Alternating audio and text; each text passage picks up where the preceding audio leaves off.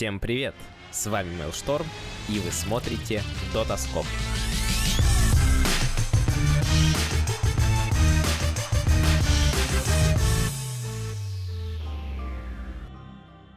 Игровой стиль и стратегии китайских команд по-прежнему слишком простые.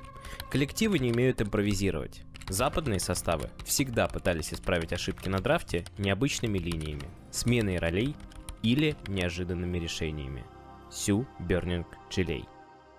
Для сегодняшнего выпуска я решил разобрать первую игру гранд-финала PGL Major между Virtus.pro и Vici Gaming Jeremy Thunder.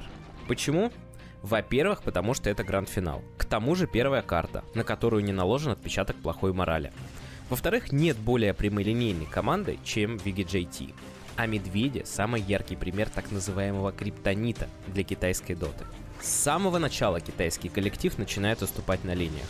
Брюмастер плох против Дизраптора и Джаггера, но Уван отлично стоит на гирокоптере и как минимум не проигрывает Лансеру.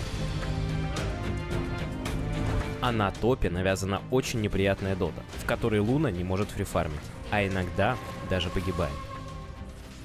Мы начнем разбор с восьмой минуты. Драка на баунти руне.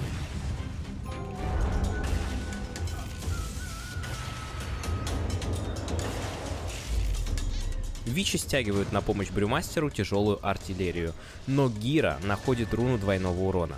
Как следствие, китайцы теряют Луну, Брюмастера и Бейна.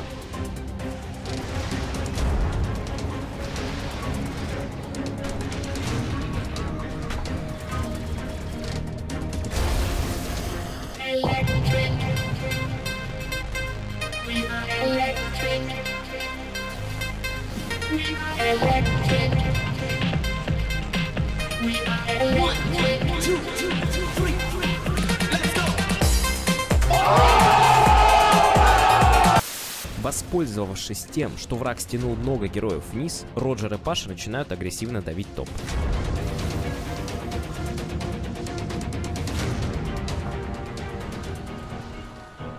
Бэйн выходит из таверны и летит на помощь Титану. Туда же направляется и Брюмастер, который резнулся чуть раньше Луны. И вот это я и считаю моментом, когда в AGJT начали упускать нить игры. В самой проигранной драке не было ничего страшного как и в агрессии на топе. Но вместе эти два фактора выбили из колеи очень грозный на тот момент китайский коллектив. Вот о чем я. Луна ошибочно направляется вниз, так как на топе уже находятся три героя, а в миде стоит Лансер. Но снизу ее ждет Джиггернаут, способный расправиться с ней в одиночку, не боящийся Эклипса, обладающий большим уровнем и ценностью. В таких условиях Луна не добирает фарм и постоянно боится выйти в леса. Даже драка на 12 минуте не сильно меняет дело.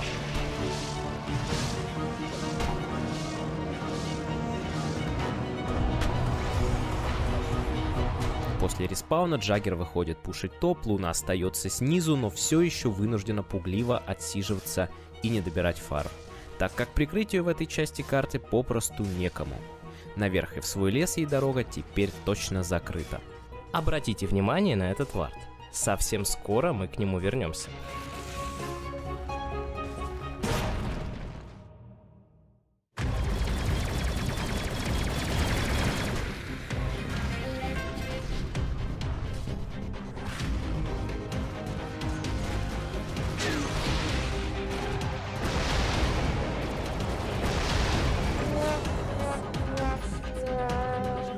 Четырнадцатая минута. Медведев пятером, Вичи втроем. И если Фриз продолжает фармить и пушить, то Луна зачем-то стягивается в уже закончившуюся драку.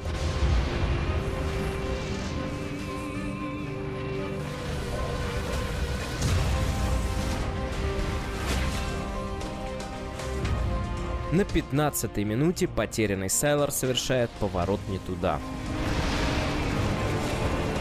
Титан не успевает отступить.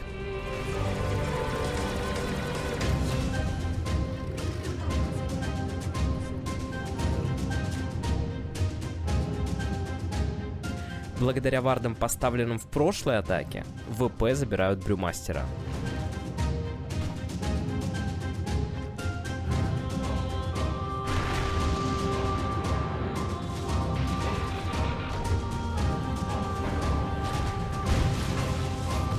Затем ломают первую вышку в центре.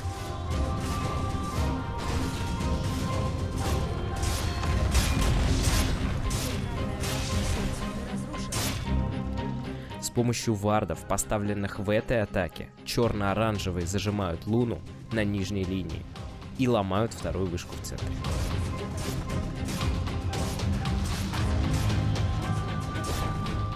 Тысяч преимущества на 17 минуте. В дальнейшем Вичи немного приходит в себя, и Сайлор получает долгожданный фарм. Вроде бы можно играть, хоть и с трудом, но только раз за разом ВП побеждают в драках. Где-то из-за перефарма, где-то из-за ошибок оппонентов. Думаю, что вы уже примерно поняли, а может быть вспомнили ход игры. Я выделил два момента. Восьмая и пятнадцатая минута. Почему? Что принципиально отличает игру до 8 и до 15 от игры после? После неудачи на 8 минуте Вичи потеряли нить игры. Они продолжали делать вылазки, но забыли, зачем они их делают. Вылазки нужны, чтобы создать спейс для Луны.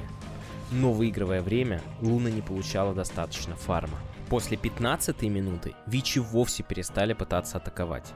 Не было ни одной попытки выйти. То есть после пары неудачных драк они вообще потеряли веру в успех своих гангов. Именно поэтому ВП так круто смотрелись. Они всегда были в атаке. Пару слов о личном исполнении VGJT. Да, оно было на крайне низком уровне. Но любой, кто играл в доту, согласится с тем, что когда у команды есть план, то и кнопки жмутся лучше. Если же тебя метелят, а плана действий нет, то ты просто теряешься что мы и видим зачастую в микромоментах. Неспособность китайских команд сохранять холодную голову загнала их в угол. Неспособность импровизировать, о которой писал Бернинг, проявила себя самым ярким образом. Вичи ничего не придумали в критической ситуации. Их хватило лишь на то, чтобы играть по инерции. Игра развалилась, руки опустились, и вместе с первой картой они отдали весь финал.